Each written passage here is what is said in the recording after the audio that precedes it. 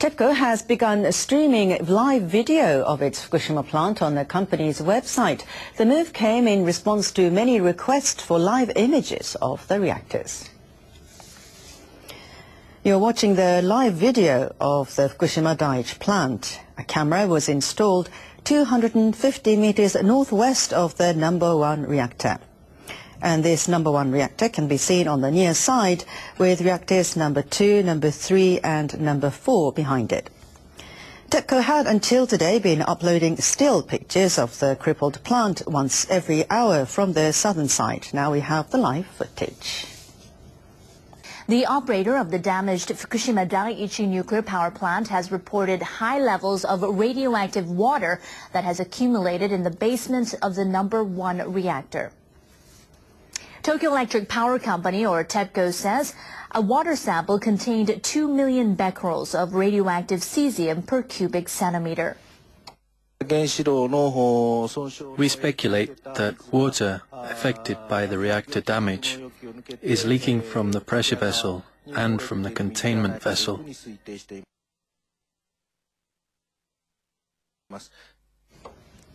TEPCO created a map that shows the distribution of the contaminated water in the plant buildings.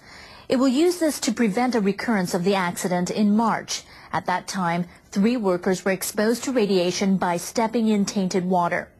The company plans to set up a cooling system to circulate decontaminated water back into the reactors. The system is expected to be installed in July. TEPCO says it will also install equipment to purify contaminated seawater near the water intakes at the number 2 and 3 reactors. The purifier uses the mineral zeolite to absorb radioactive cesium. The company says preliminary operations will begin as early as Thursday. The utility had previously built undersea silt barriers around the water intakes to prevent highly radioactive water from further spreading into the sea. But radioactive substances exceeding government safety limits are still being detected outside the barriers. In Japan, the rainy season has started in most of the country. At the crippled Fukushima nuclear plant, heavy rainfall is increasing the volume of highly radioactive wastewater in reactor buildings and related facilities, raising the possibility that the contaminated water may flow out into the sea. Huh? What do we do now, liberal affirmative action shithead, peacenik commie fuck? What do you want to do now? This is nothing, uh. piece of cake! The contaminated water has already flooded the basements of the turbine and reactor buildings, partly due to injections of water to cool down the reactor cores. Tokyo Electric Power Company, or TEPCO, now says water levels are rising faster as rain pours into the badly damaged buildings. In an underground tunnel shaft of the number 2 reactor, the water level had risen by 8.6 centimeters over 24 hours as of Tuesday morning. The surface of the water is now only 39 centimeters below ground level, the utility speeding up work to seal the opening. The utility says a similar rise in water level has been reported from other facilities nearby. TEPCO is considering new storage sites where the contaminated water can be quickly transferred.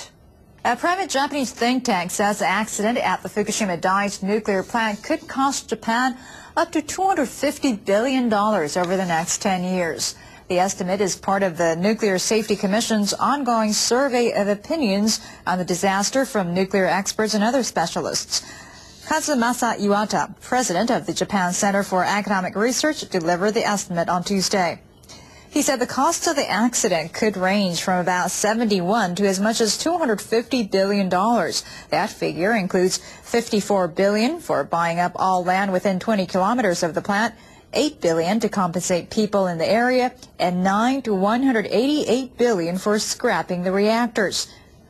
Iwata said a fundamental review of the government's nuclear energy policy will be needed to fund the cleanup. He said the government could generate about $71 billion of the funds needed over the next decade by freezing research and development projects linked to the nuclear fuel cycle and another 150 billion could come from Tokyo Electric Power Company's reserve fund and the government's budget for nuclear energy spending.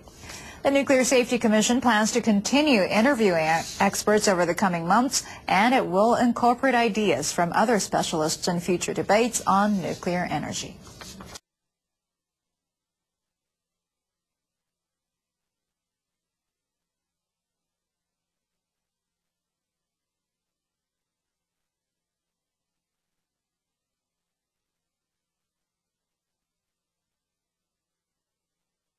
Tokyo Electric Power Company, the operator of the troubled Fukushima Daiichi nuclear power plant, has installed a new cooling system at one of the plant's crippled reactors.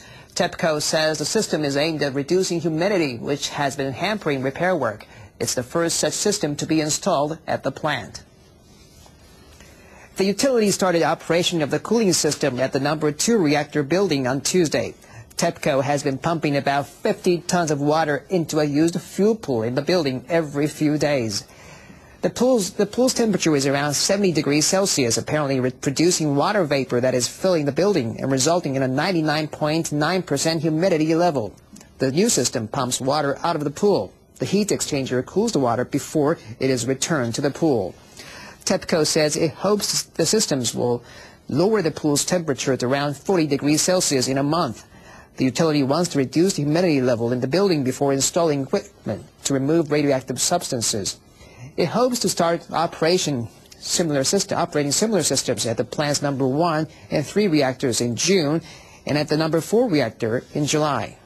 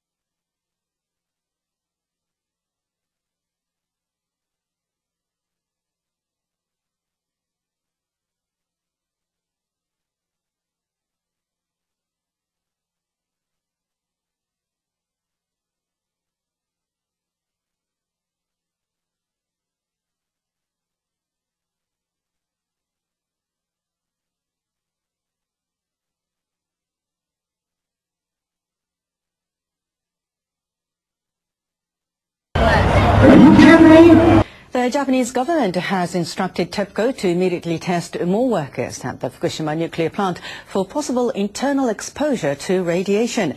This comes after high levels of radioactive substances were found in two workers. Has calmed down. The two men worked in the central control rooms of the number 3 and 4 reactors at the plant. TEPCO says their total exposure may have exceeded the safety limit of 250 millisieverts which has been set as their ceiling amount for emergencies. The two men told the Labour Ministry that they were not wearing protective masks when a hydrogen explosion occurred on March the 12th. The ministry instructed TEPCO to test dozens of workers who were also in the control rooms. The ministry says these workers may have inhaled high levels of radioactive substances. TEPCO says it'll follow the ministry's instructions. A series of worker safety problems at the Fukushima Daiichi plant has already come to light. It was discovered that some workers were doing their jobs without carrying dosimeters. Two female TEPCO employees were exposed to high levels of radiation that exceeded the safety limit. And on Monday, the government told the power company and its subcontractors to take thorough measures to ensure the safety of their workers. U.S. rating agency Standard & Poor's slashed its credit rating of Tokyo Electric Power Company. The agency cites huge losses and an unclear compensation plan for the downgrade. Standard & Poor's downgraded TEPCO's rating by five notches from triple B to single B+. plus. The agency cites the utility posted huge losses for the business year ending in March and that details of the Japanese government's framework to help the company pay damages are still unclear. A company rated single B plus is considered a high-risk investment. TEPCO says it is taking the downgrade seriously. The firm says it is striving to contain the situation at the Fukushima plant while it continues to streamline its business and restore its image. Meanwhile, Moody's Japan has also cut TEPCO's credit rating by two notches and says it will put the utility on review for a further possible downgrade. Defense Minister Toshimi Kitazawa says he wants robots to be added to Japan's self-defense forces equipment so they can tackle any future nuclear accidents. Speaking to reporters on Tuesday, Kitazawa said It's ironic that U.S.-made robots were used initially after the nuclear accident at Fukushima, even though Japan is a world leader in robot technology. Kitazawa said he wants the SDF to start using robots, including unmanned helicopters, that can operate even in a highly radioactive environment. The self-defense forces should be equipped with robots and incorporate them regularly in their exercises. In the future, if an accident happens, I want us to be able to handle it on our own and also be ready to lend support to neighboring countries. For crying out loud, you're missing important plot points.